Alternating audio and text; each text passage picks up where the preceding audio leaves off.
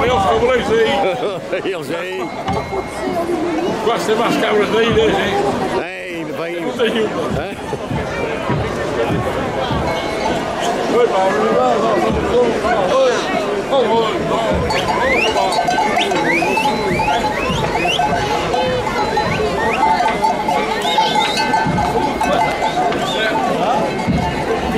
Obrigado.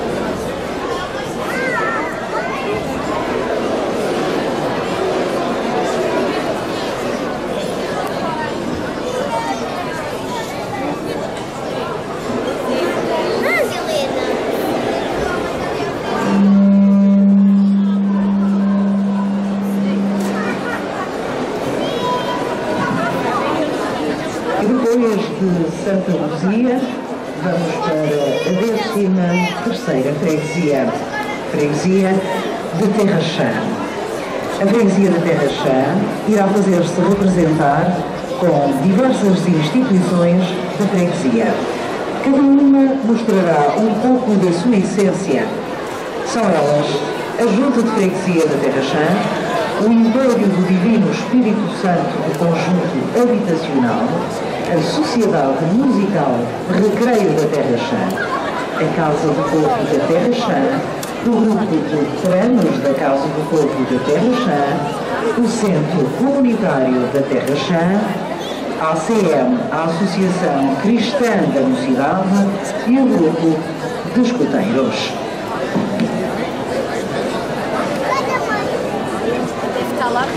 De salientar a representação da Junta de Freguesia, apresentando no seu desfile uma revelação na arte repentista de Marta Cardoso, filha desta freguesia, que versará assuntos relacionados com as tradições da freguesia, como sejam a produção de laranjas, castanhas, ganadeiros e pastoras.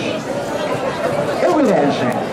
O negócio da laranja foi uma grande fonte de riqueza para esta freguesia, onde existiram boas e belas quintas com pomares de laranjeiras.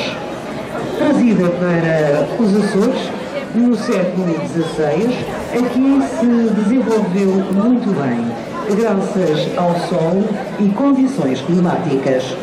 De início, era uma economia de subsistência, mas na segunda metade do século XVII passou a constituir, percorria as freguesias avisando há navios. Os homens de trabalho depressa-se dirigiam os salários para a Feira da Laranja. Esta era transportada para o Porto, embalada em um quadro assombroso e admirável. A razão da decadência desta cultura foi a grande baixa de preços em Inglaterra e a doença que veio atacar as árvores. Há peças de louça inglesa que, ainda hoje, são herança do negócio da laranja na Terra Chã.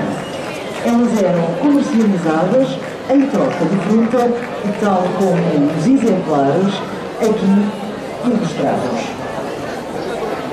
Passando para a madeira. Após a decadência da cultura da laranja, a freguesia passou a dedicar-se à comercialização da madeira. Lenha era muito utilizada pela população nos seus fornos domésticos. Então, muitos pomares foram convertidos em matas de eucaliptos, de acácias e faias para venda de madeiras. Grande parte destas eram portáveis taleiros situados nas próprias matas, com serras de braçal, e preparada para o uso em moradias, nomeadamente para mobiliário. Outra parte era cortada em achas, sendo transportada para a cidade em cabos de bois e ali era trocada por géneros alimentícios como o milho, a batata e o feijão. Agora, a tradicional castanha. Do passado, a Terra Chá herdou, em especial, pomares de castanheiros da variedade Viana de excelente qualidade.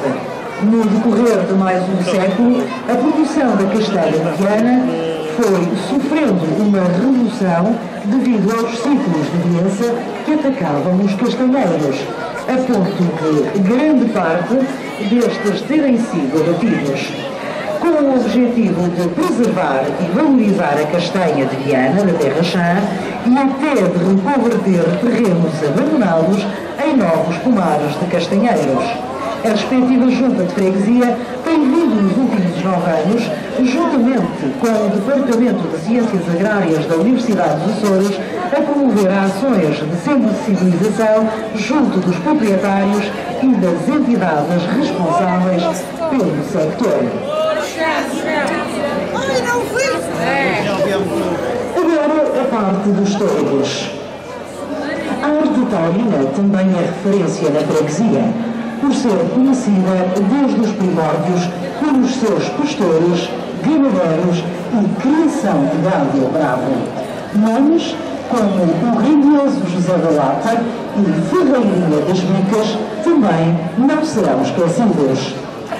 José da Lata, uma figura típica da Terra Chã, de um passado recente que merece um registro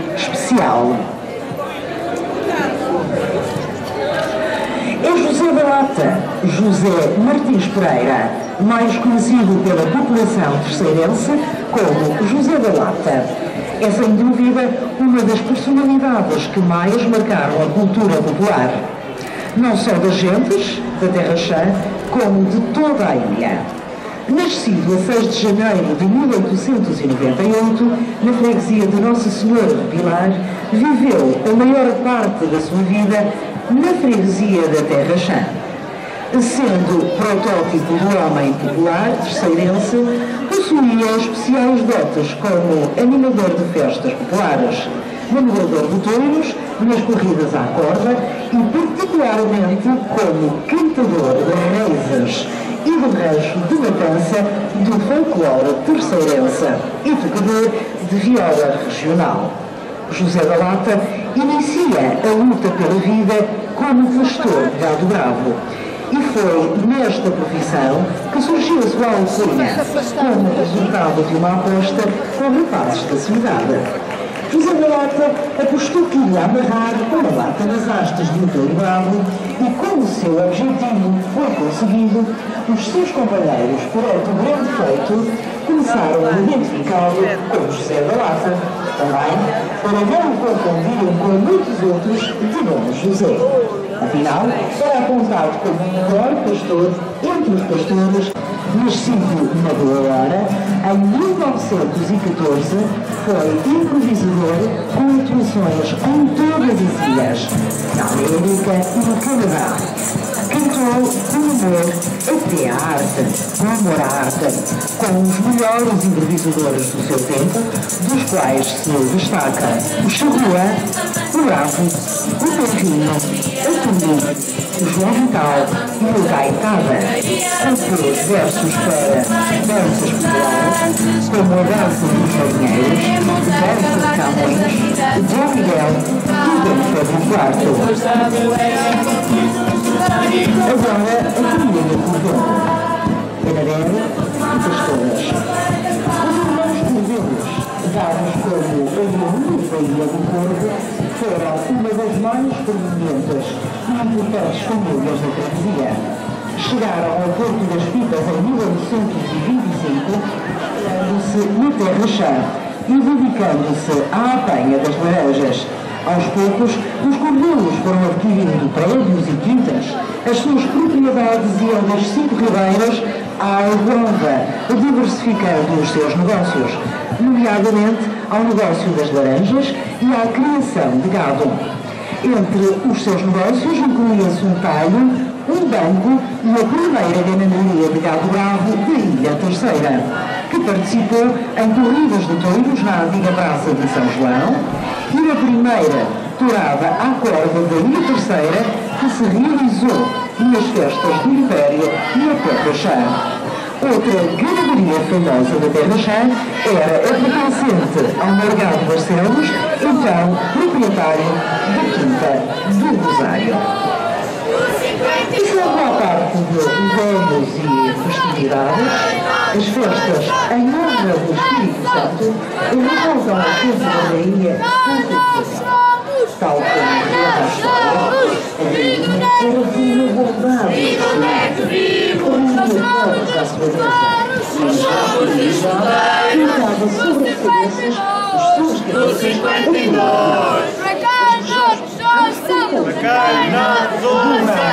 chegando até nós para explicar o momento dos nossos antepassados.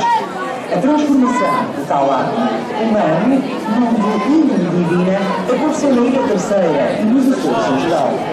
Não se sabe como nem quando. O certo, porém, é que tomou também a dimensão entre o corpo que este, para poder realizar a sua ação cognitiva, formou as juntas que se encarregavam de proceder à recolha de bens para os distribuir depois.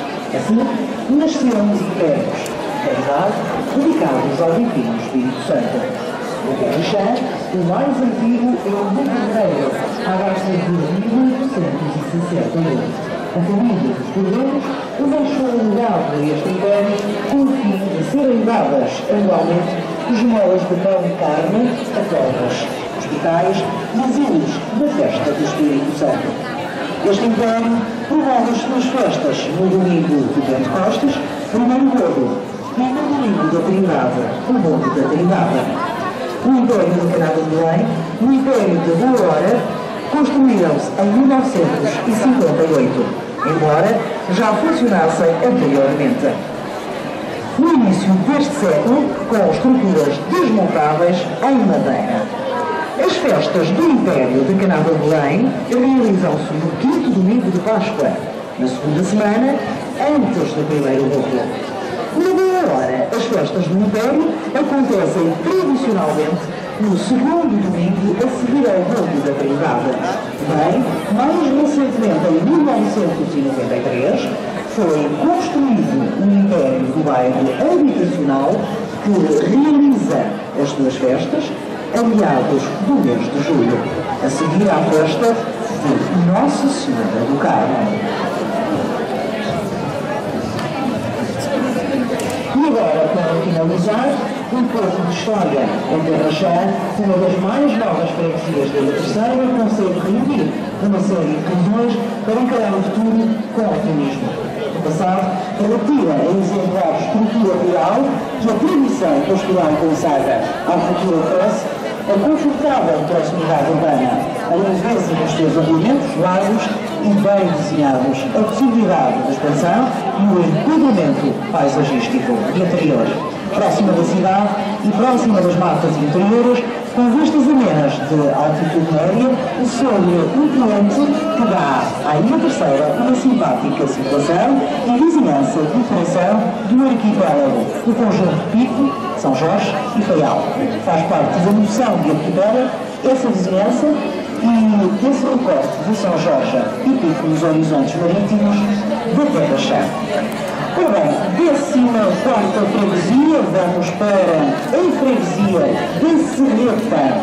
A freguesia da Serreta traz este ano ao desfile de freguesias uma representação da segunda-feira da Serreta, integrada nas festas de Nossa Senhora dos Milagres, que todos os anos movimenta a ilha toda em peregrinação